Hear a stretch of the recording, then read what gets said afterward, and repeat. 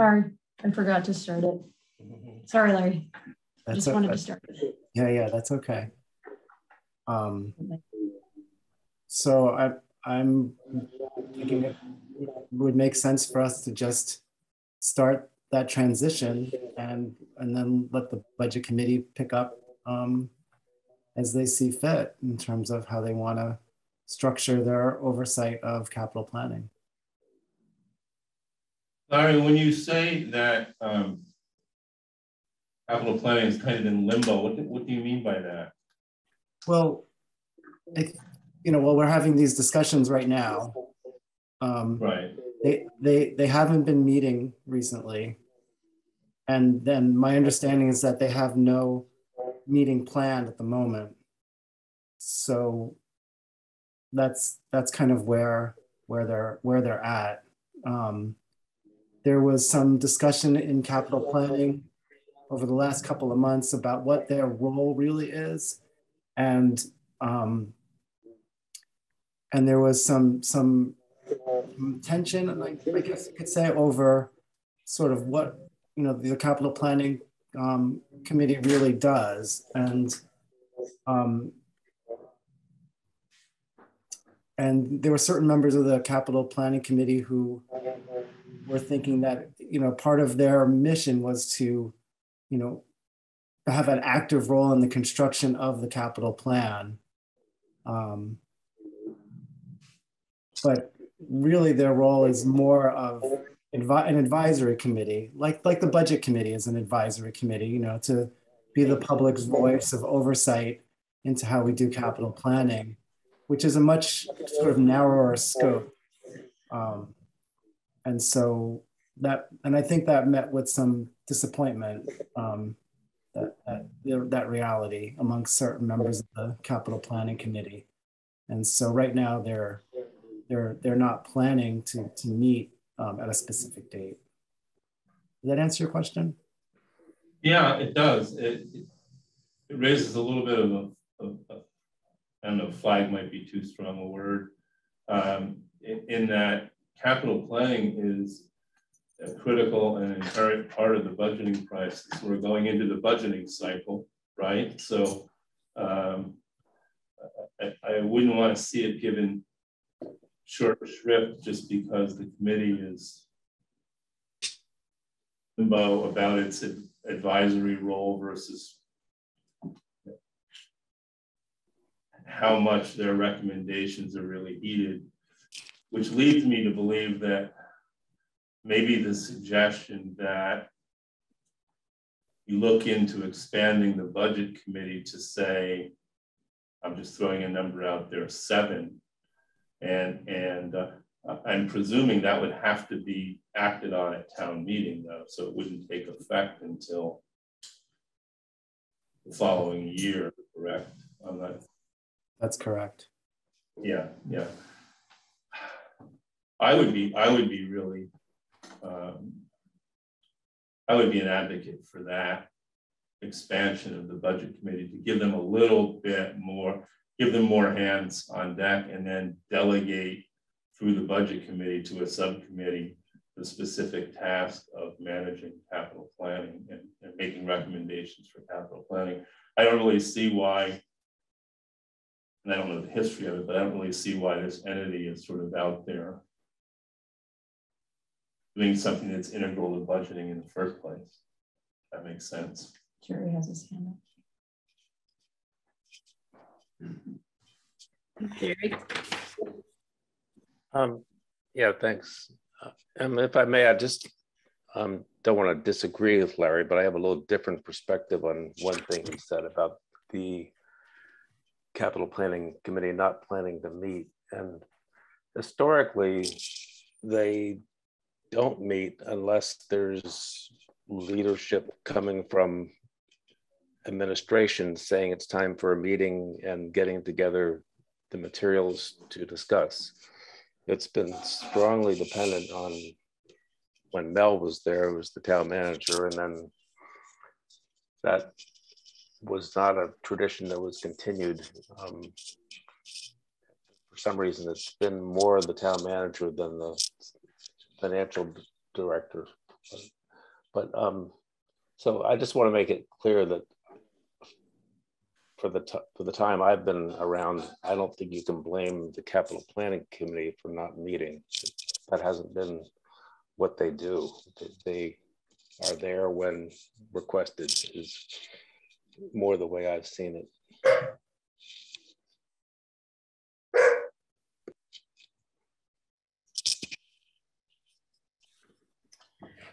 So Tom, to pick up on uh, on your thought there, does it make sense for us to look to transition this at town meeting?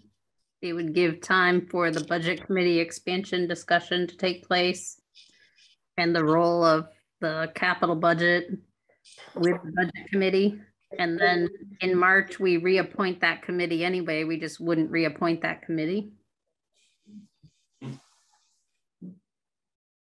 So if we act on this at town meeting, uh, and presumably the, the, the voters uh, agree to the expansion of the budget committee, which they established as an elected body, um, can we do all that and have it take effect immediately?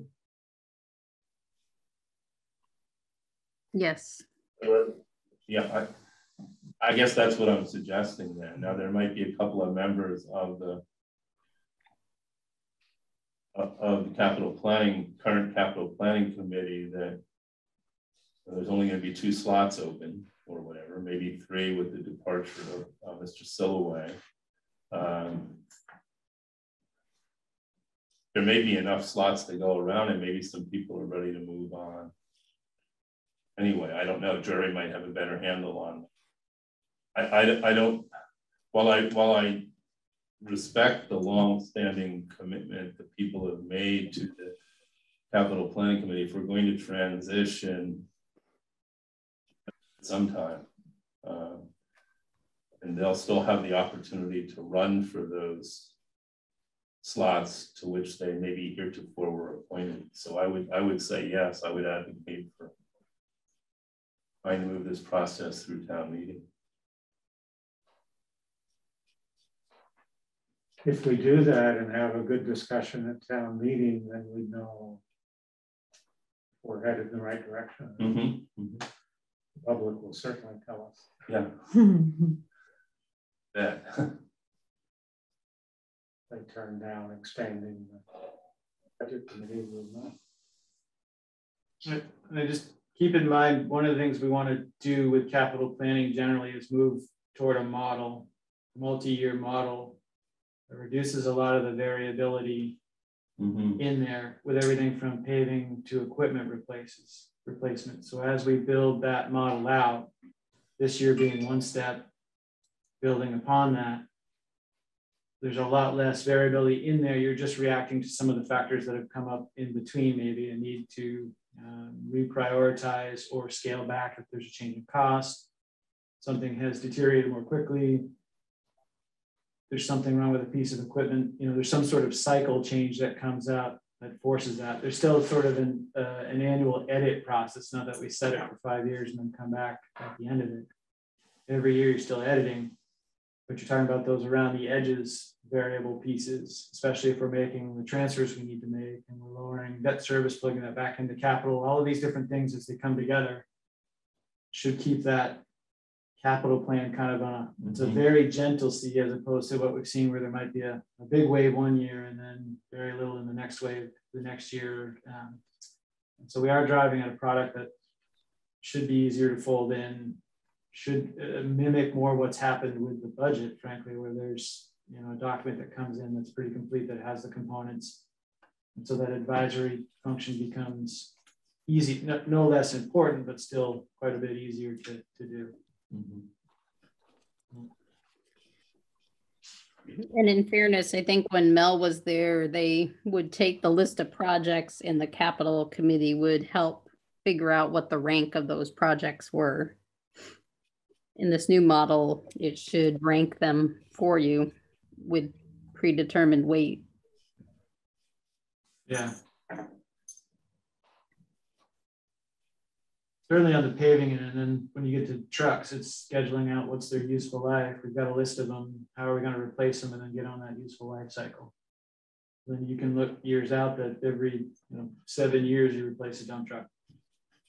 Um, So that's programmed out. Use that example. And then pavement will look at condition index and that'll create the priority list and where there might be some variability or some need for input is if you've got two similarly ranked projects that are at kind of the bottom of the priority list, or there's some need to, we have X amount of funding. Project need is Y, and we've got to make funding fit need. So how does that, you know, which one makes it in one year versus versus another? Mm-hmm. Gets pushed maybe to the next year. Mm-hmm.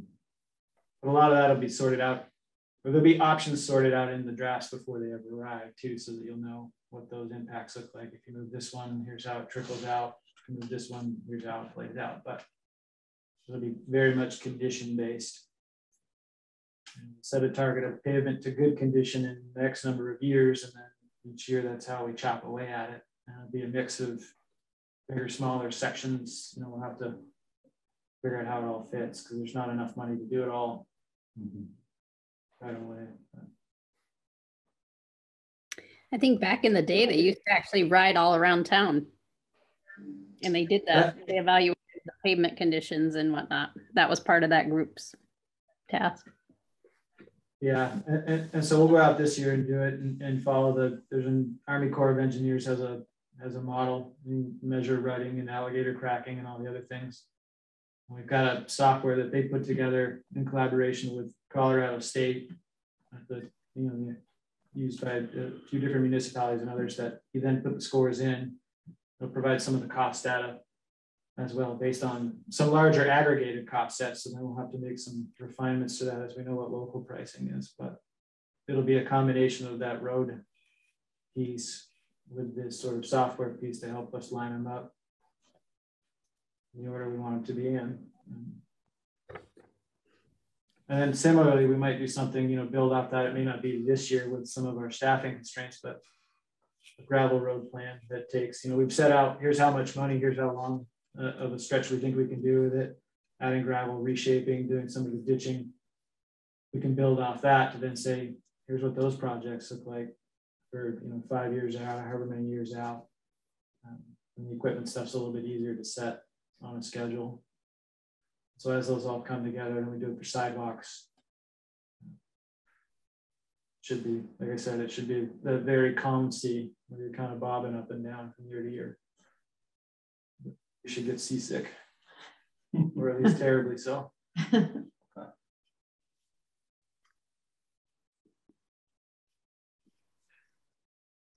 So is there consensus to take this one to the town meeting?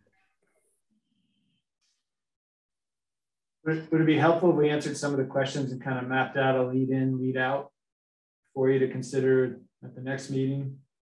In other words, what would you need to make the change? How would it work at town meeting? What does it look like coming out if you go to the seven? Yeah, I do think that would be helpful.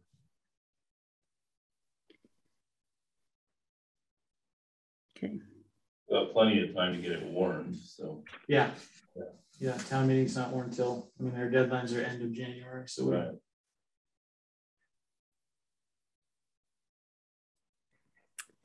All right. Well, thanks, Jerry. Next up is consider approving the ARPA funding committee scope of work. Just building off some conversations that started in the summer. Now that we've got half of our nearly 1.4 million. Um, have put together scope. We went casting about to look at what other municipalities put together for committee scopes of work. Found them from all over the place. We tried to make one that made sense in our context. So that's on the memo. And then thinking again about committee size and membership and some of the other questions. There was a recommendation in August for a larger, I think, nine-member committee. Um, What's in here contemplates something closer to seven, but there's certainly flexibility with that. But the scope of work lays out what the responsibilities and tasks would be and the deliverables and dates. So essentially from when you appoint, which at this point, if you did say the scope of work tonight, you appointed committee members at the December meeting, that would give them from December 9th uh, until April fourteenth is the meeting date that we picked in the scope of work. um, To get through that task list above, we're starting to see quite a bit of the information coming in as towns reach out. VLCT starting to keep a, a listing or database of um, what people are spending money on. Just some of the questions are being refined, so it, it feels like a manageable task, at least from understanding what is or isn't eligible. The harder part might be trying to pull out um, some of the recommended pieces for use, depending on how far developed those things might be.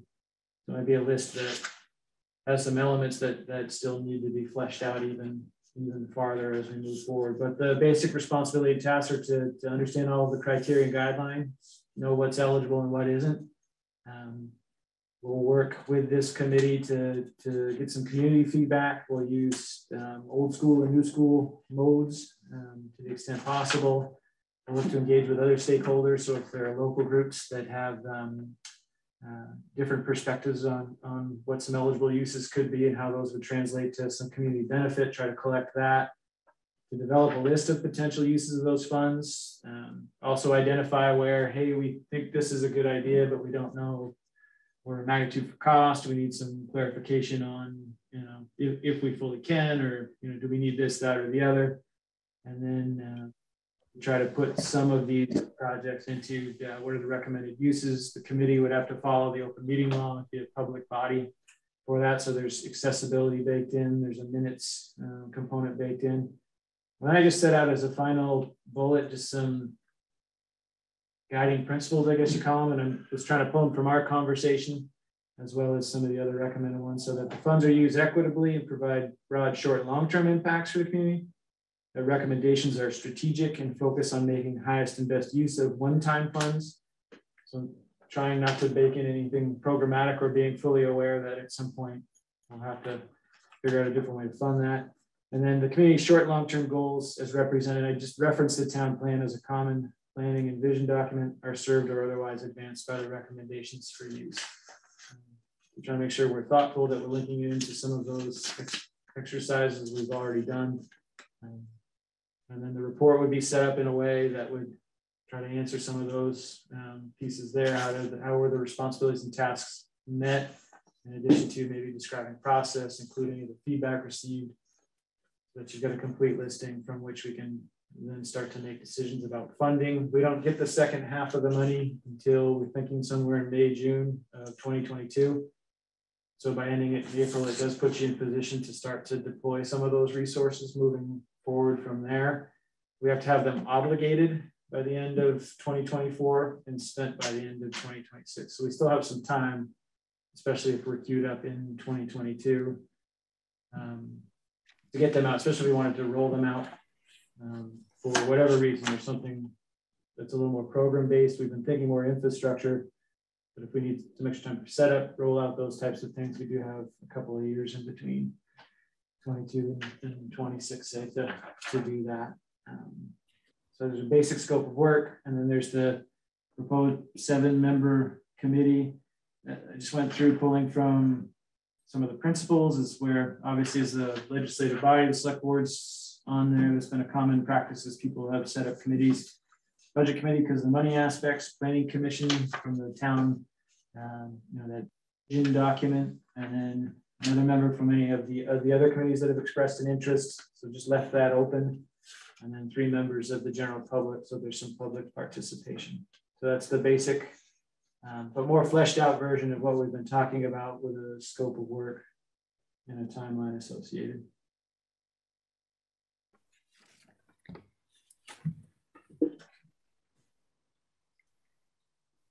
I think it's important that we make sure this committee represents the entire town. That it's got a geographic mix of people as well as, you know, I know it's it's fine to say we're going to pick people from other committees, but we don't always have a good geographic mix on those committees because we end up filling them with whoever decided they wanted to step up and do it. Um, but this is something I think that's important. We make sure we have uh, fair representation on.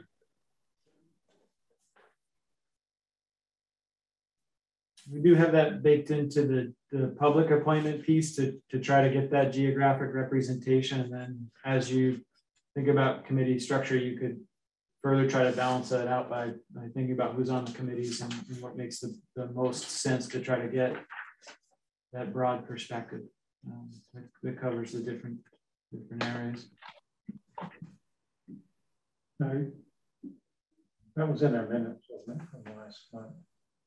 Uh, there was some stuff from last month. Yeah, yeah, yeah, and then going back to, it was August to July, we talked about that piece a little, a little more, I think. I was trying to find it in here and then I realized it was in a minute. Yeah, yeah. I think it would also be useful if once or twice along the way in those months, if they came back and told us where they were at. So. Yeah, regular reporting. Yeah.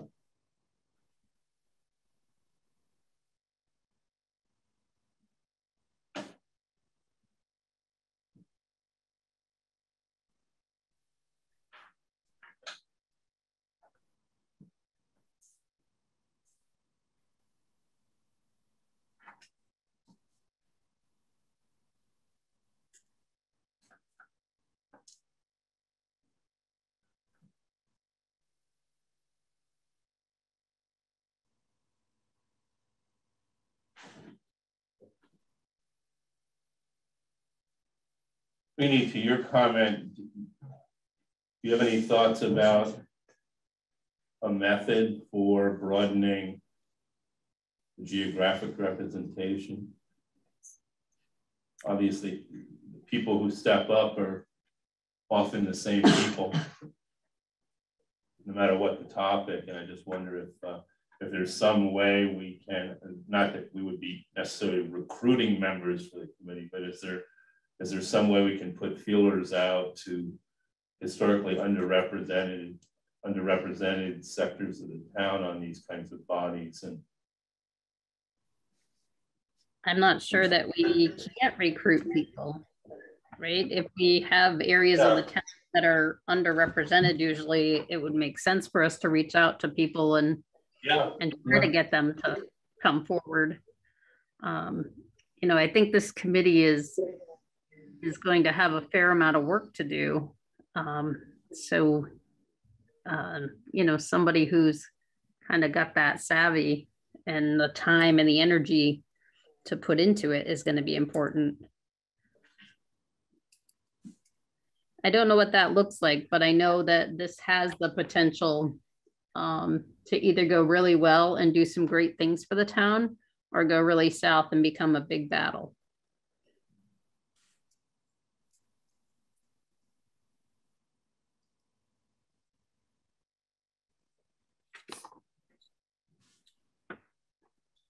Can you explain that a little more, Penny? Well, so first off, the money comes to the town of Randolph. And so yeah. it goes to the entire town. And so we're going to get into that town versus village discussion. So if all the members of the committee are from the village and the money all goes to the water wastewater district, for example, then there's there's going to be some pretty upset people. I see what you're saying.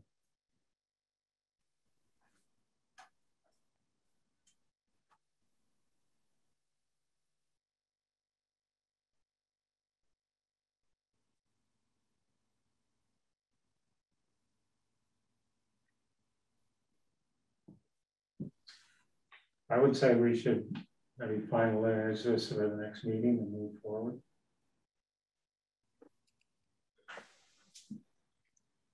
If that's soon enough. Yeah.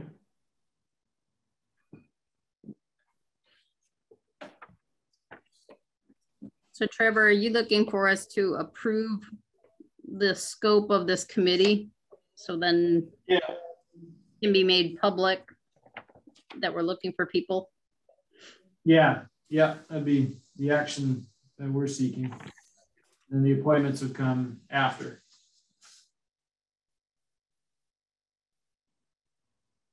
So if that's the case, I'll move that we approve the scope of the ARPA funding committee uh, scope of work as as set forward tonight, and uh, and we're with appointing committee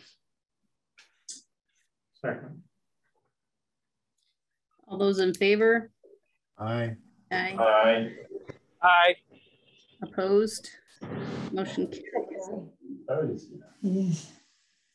All right, next up is um, consider authorizing mailing ballots for town meeting. was requested by the town clerk. It's certainly early in the process, but that's not a bad thing. Um, The question is whether or not we want to mail ballots to everyone for town meeting 2022, similar to what we did um, certainly for the general election in 2020. I think even maybe for, I don't know if that is what happened here for town meeting 2021.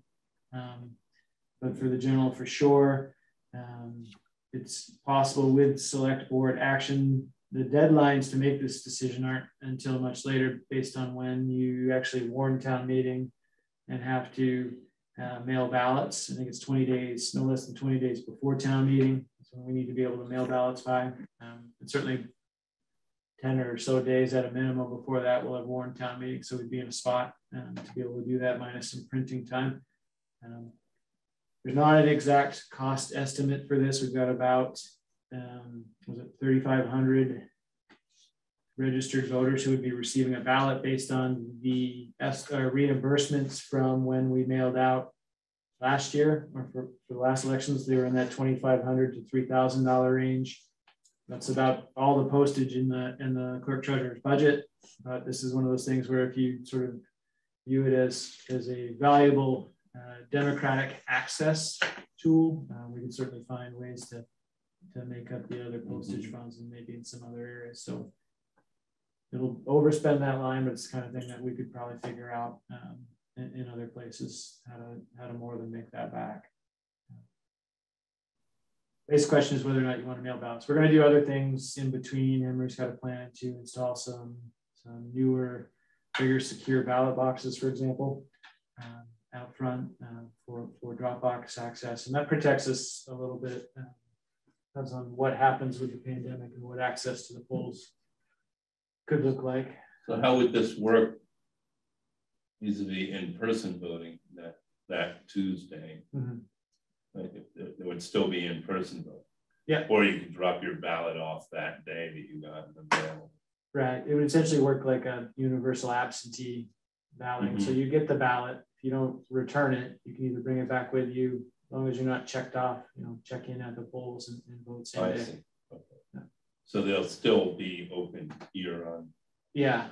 Right? But it'll be essentially a drop off event.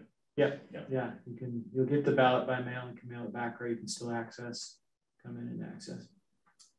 And is there enough time for built into the process for overseas voters, say military members that are deployed else, you know, deployed elsewhere? That that's remember the, that was a concern. Yeah previous times. I just wonder, I want to make sure that everybody's enfranchised. So. Yeah, the, the pressure points with that will relate to when we warn town meeting. So if we're toward the back end of the deadline, so the end of January, we've narrowed the window. You've got a not less than and not more than. So if we're on the front end of that, there's another 15 or so days um, to process everything and mail it out. If you're on the back end, of January, still within your statutory time frame, but now you're about a month out from town meeting. Gotta get the ballots together, get that list, and then you're relying on on postal services to get the ballot to the service member uh, and then get it back. So there's still it still can be a tight timeline, but your minimum window, um, I figure you got 20 to 25 days, say, depending on when the ballot, you know, when the um, meeting is warned. And those ballots can be printed how we print them. If it's an in-house thing, that's one thing. If it has to go out and it takes a couple of days, that can cut in. So some of those pieces are just more logistical. Um, this in and of itself makes sure everybody gets that mail. Just service members or people in town or, or, or anyone in, in We know how many were sent out last time and how many were returned. Uh, that I don't know, but I can I can run that down. question would be, I think the first time around, we sent out the cards reminding people they could vote absentee, but we didn't send it. to Everybody. Mhm. I was Wondering how that. That would be a less expensive way to do it, and you wouldn't have all those extra ballots. Okay. Yeah, that would be another option too. And Ray have a preference. But uh, I have to pull him on between the postcard option and that. We only had talked about the mailing. He wanted everybody.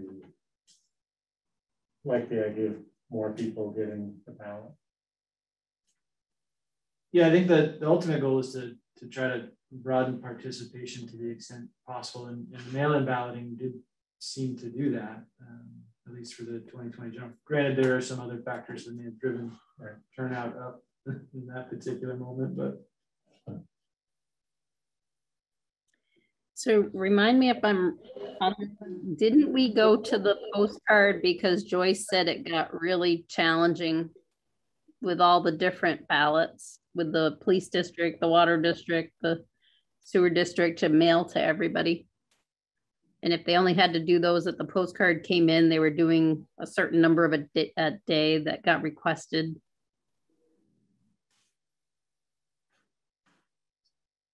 it, it's possible that that that one predates me. So Sounds right. Yeah, that, that sounds, like that's my recollection, yeah. It's complicated.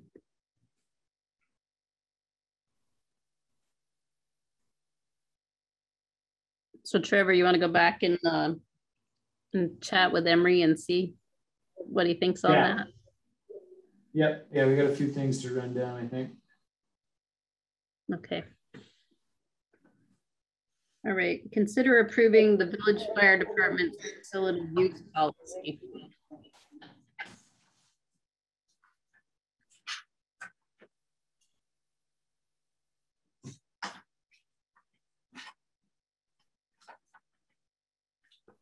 So I don't know if anybody, uh, hopefully everybody had a chance to read this, but uh, I'm having a hard time with the town paying all the fees for that building. And any use where it's paid for goes into a fund for the firemen. Um, And, and them determining who, who use it. That's a, that's a town facility. And it should, I believe it should follow the same use policy as our other buildings but be coordinated with what they have going on.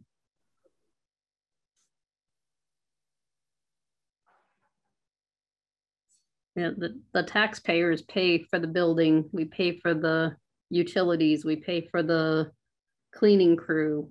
Um, all that. It's, um, you know, it's the town's building, not just the fireman's building.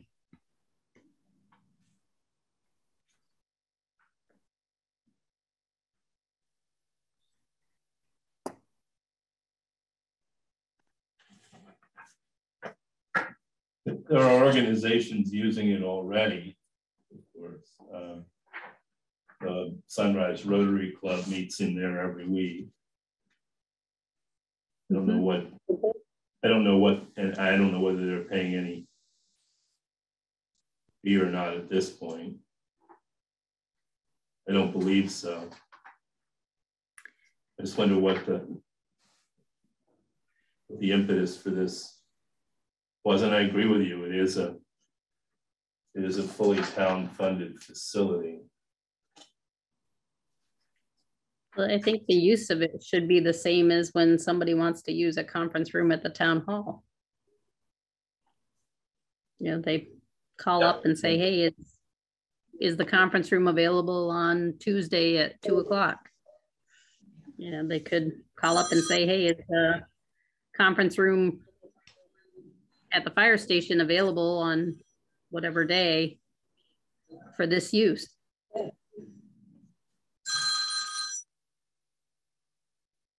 Does it say in this proposal, Trini, that the money would go into a fund for the firemen? I didn't see that in there. Um, in number five on page one, it sets up that there's a donation right. to the fire department, which would donations generally go as opposed to a user fee that was paid to the town. I don't know if that's the part you're pulling from Trini, but that was the one I put my eye on. Yep, that's it. And then conversations with Mike Hildebrand, it is to go into their fund. Um, but I also believe if we want to have everything open, accessible, available to everyone, then we have one policy. Everybody follows it. There's one, you know, place where they go, to try to find space they can use. Uh, I don't know that we want to get into, well, the fire department didn't let us use it because they don't like our organization. You know, I think it's opening us up to to a different process that brings with it some risk. I think you're Trini, you're making a bunch of really good points. And um, and I think in addition, the you know, it says here that the fire chief can at as at his discretion may waive the donation requirement. That sounds like it could be problematic in exactly that kind of way as well. I like the idea of being the same as as other build town buildings. I think that makes a lot of sense. You shouldn't ever have to waive a donation because it shouldn't be mandatory if it's a donation. Yeah, I have that too. The idea behind the donation, right? Oh, no, we don't want. So I just want to jump in here for a second. Sorry for the road noise, but you also have a building in East Randolph, you know, two buildings down there that you'd have to take into consideration. I believe Randolph Center wouldn't fall into this because I think they own their own building. Uh, but you know, you've got two other facilities, and I think there should be a blanket policy across the board that addresses all of them. Yeah, there's no space in the fire station in East Randolph. Um, but I would assume once the hall gets renovated and can have use in it, it should definitely be right there, the same as the others. yeah. a little bit of a, a, a curveball, and I don't know how this, but how does Chandler fit into this as well? Because they will, on occasion, and I'm not talking about renting out the music hall for another presenter to, but they'll occasionally rent out the community room on the second floor. we have a lease agreement with Chandler. Chandler, Chandler's an entity that's, that's leasing the space from the town technically. Right, so they can control fees in that. I think they have full control of what they do with that building because we've given them the, the, the lease on the building to Right. use as they see fit. So I don't think that really applies here. I think what applies here are the two fire stations and the East Randolph Community Hall and, Yeah. and also buildings, you know, like the town hall. So, you know, I think that, um, you know, not to say that it doesn't happen, you know, sometimes I believe all these fire stations, you know, they pull the trucks out and they're sitting in front and having a, you know, baked bean supper or something, or, so those are the kind of things that I think we need to figure out what the, if it's going to be somebody else other than the fire department, then I think we need a policy for that. Yeah, and it should be consistent across the venues.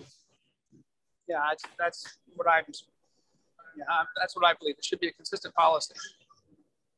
Yeah, that makes sense.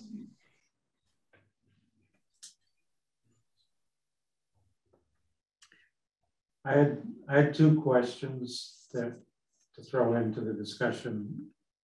At the village fire station, can they lock the rest of the building off? Yes, they can. Anything that we didn't want the public to be into, they could just lock that off, so that's not an issue.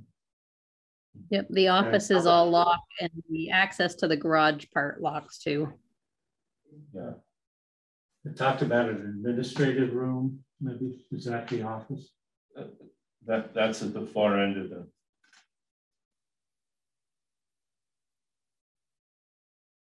That's we've done some, that's when we've done some interviews in, in the past. That's not the administrative office, right? That's the. Oh, no, that's, that's, that's the meeting room. The administrative office is right there when you come in. It's, um, It, they don't use it for the fire department. I believe it's wide open, it's open right now.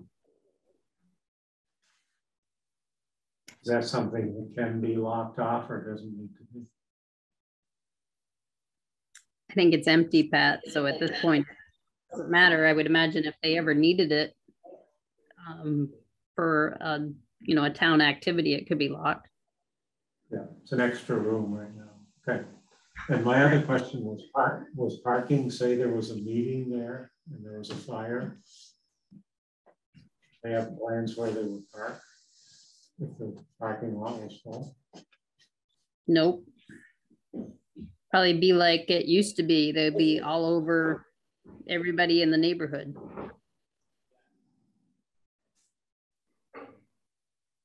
There's not enough parking there to have the fire department respond and have a large meeting at the same time. Right. So there ought to be some backup plan of neighbors letting them park some there or something temporarily, seems like.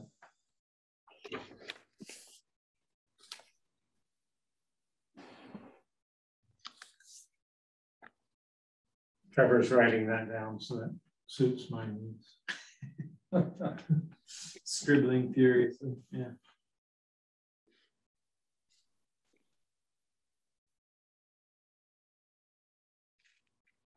Do we have policies related to the other two buildings in East Randolph? Or are those, are- So there is a, there's no space in the uh, fire station. There could be, I guess, if they pulled the trucks out. Um, right, But- and the hall right now is shut down, right. right? so- Until it gets rehabbed. And I would assume that once that's rehabbed and gonna be open for use, we would want to add that to whatever policy we create. Mhm.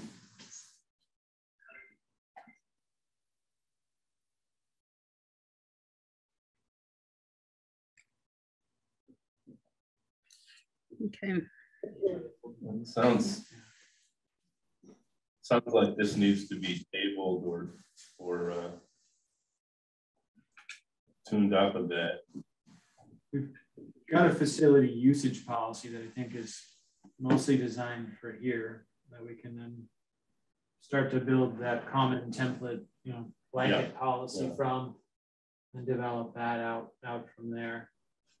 I think that's where the, we're just looking at it, the twenty-five dollar number comes Yeah. from that other policy, I think is, is where that came from at least, but um, it sounds like the desire is for a blanket, if a town owns a facility, there's a blanket policy that, that governs the use. And there Mhm. might be some individual pieces that go with it, such as what happens in the event. If there's a fire in an event at the same time, the village fire department, or, or if, if there has to be some sort of nuance based on the space itself. But, Mhm. but by and large, everything would be consistent throughout. Am I correct in thinking that that policy has a usage fee, but that isn't being charged now? Yeah, we haven't, it's been charged sporadically, if at all. Um, But we also have of a policy for our recreation facilities. Yeah. We may want to see if that, elements of that can be.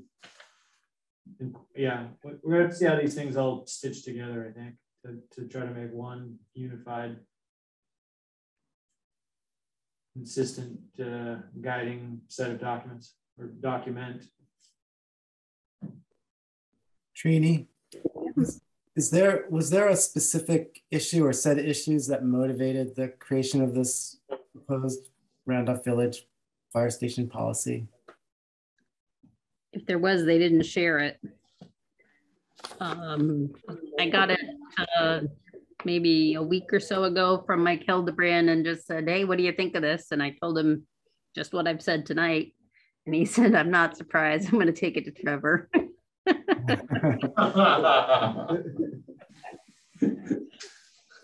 Doesn't look like that's gonna get him anywhere. I took it here, so yeah, you guys could say the same thing here. Punt it, punt it right Yeah. back. So I don't know what the, uh, I don't know what the impetus was for it. If this is their way to be able to charge a fee maybe, or um, not sure. Okay, yeah, just curious about, you know, why, why, why these particular, you know, sets of, of initiatives and, and why, and why now?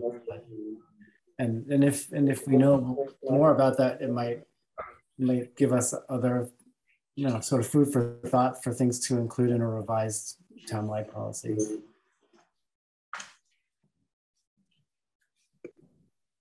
Um, agreed. All right. Well, we'll look for that. Uh, next up is uh, approving water and wastewater allocations. We have a quartet before you. There's an increase for wastewater allocation at New England Precision. There is a request for wastewater allocation at 142 East Bethel Road for La Lumia. There's a water and wastewater allocation request for a parcel of zero Pearl Street. And the final one is a uh, 22 Water Street, Caramallery. This is a wastewater allocation. And Three of them look like they're for um, house with an apartment in the zero Pearl Street context. Two others are, I think, single, single family uses, and then obviously New England Precision will be a commercial customer. Anybody have any questions on these? I have some questions. Um,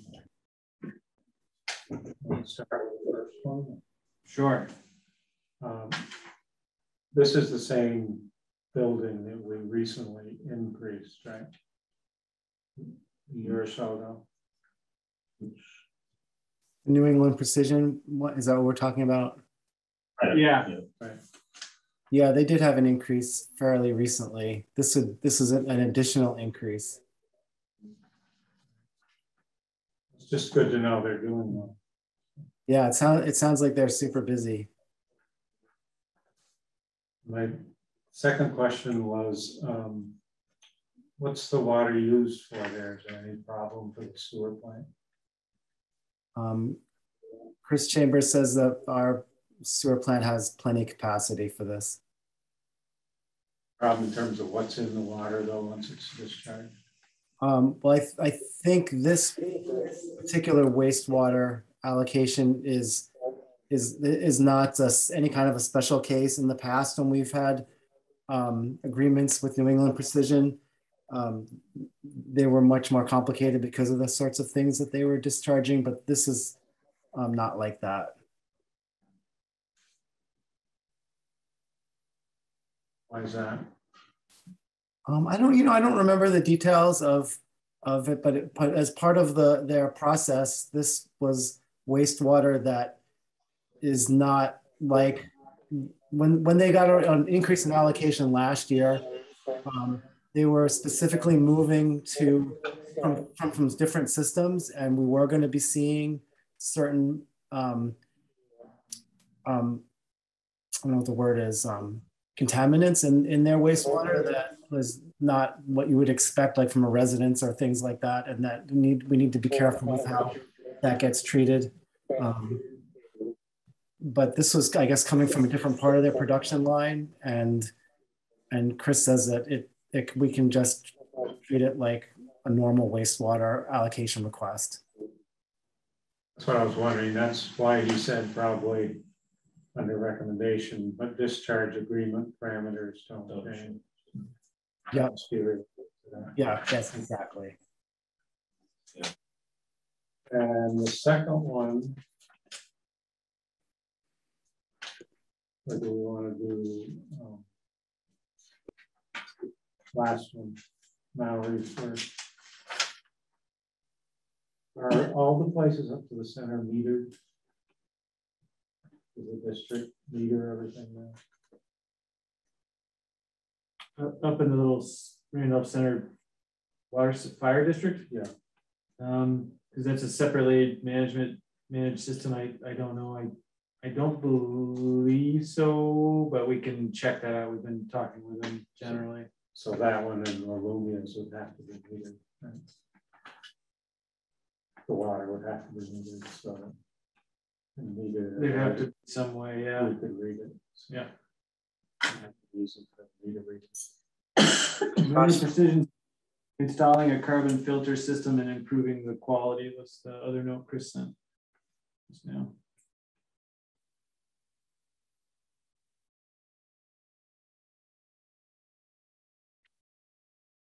And I had the same question on the was that metered?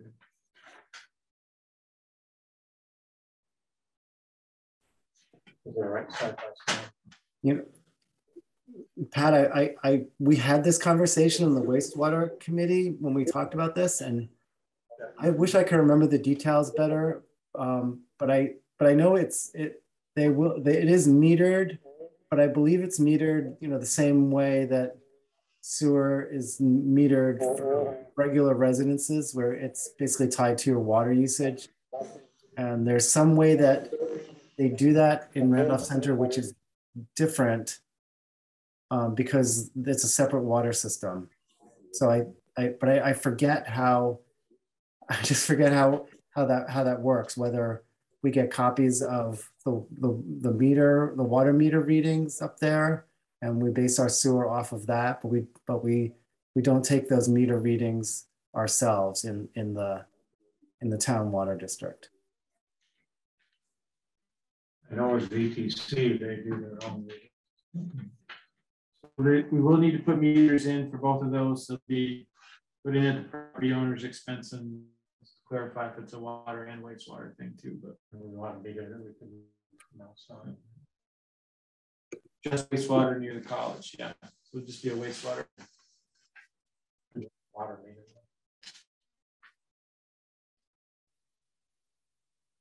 Yeah. The note says just wastewater. They're getting, they're just getting wastewater, but we won't charge them based on the water. rates. Right. Everybody else. I would think.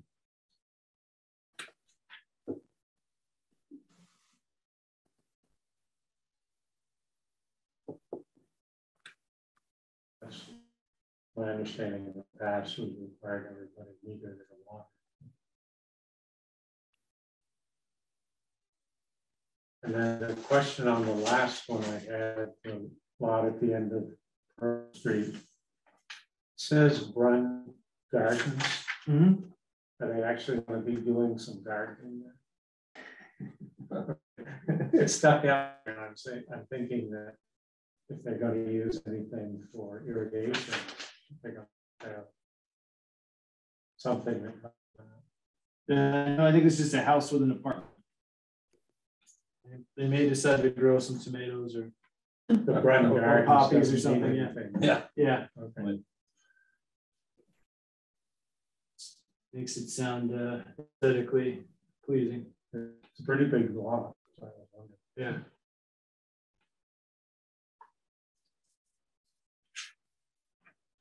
Yeah, the water would be metered, even though it's a separate system for the wastewater purposes.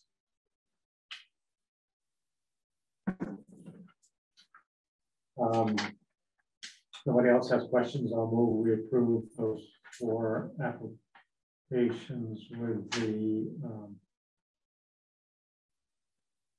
making sure that they have water meters.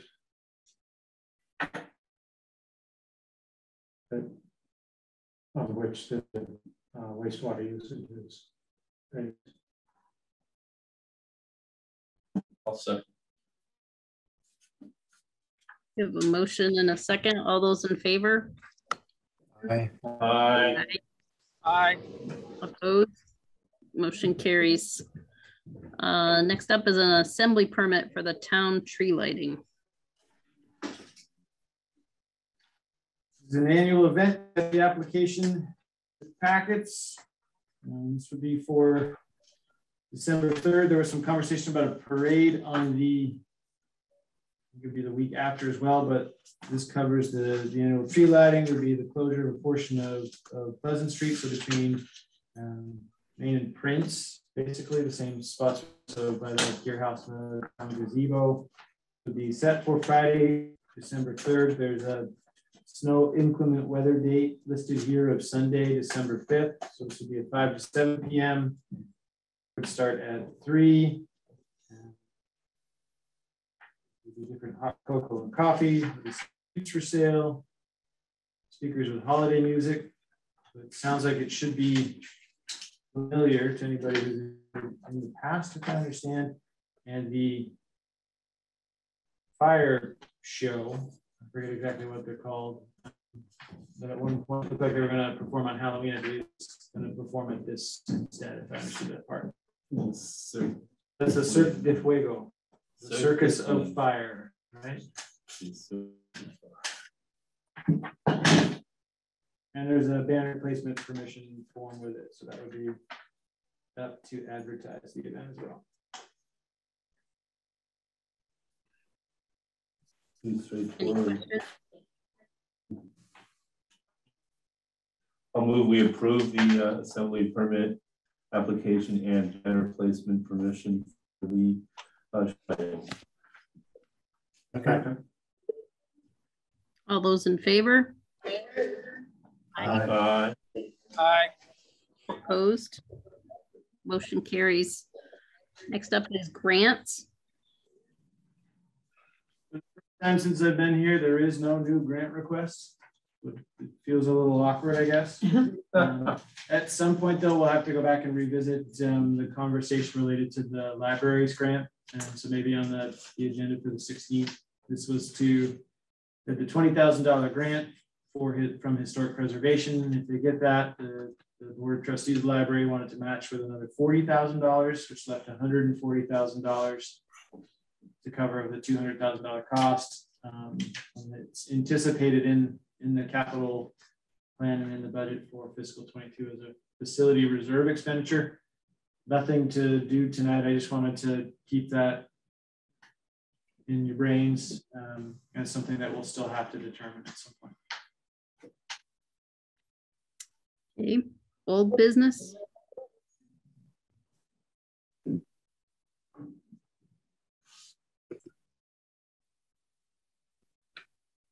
Hearing nothing, other business?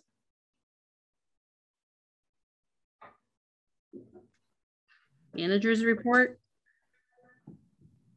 Nothing new to add from there except for um, 5:30 PM next Thursday for that joint work session with the Energy Committee. And I heard today that the auditors are working on a draft of the fiscal 21 audit, so that should hopefully conclude sooner than later.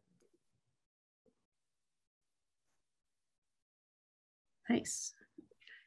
Uh, executive session? Any prospects for open positions? Uh, Not, not yet. Not yet. Hello?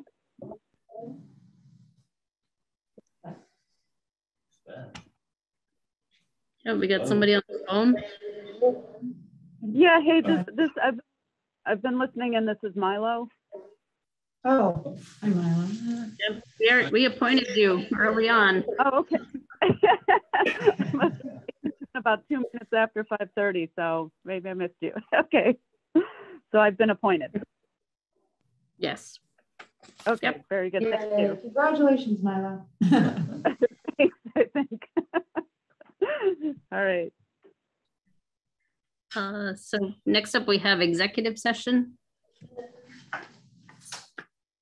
Yeah, Stop it. Just after they do the motions. Oh, that's right, sorry. What are we talking about? Contract?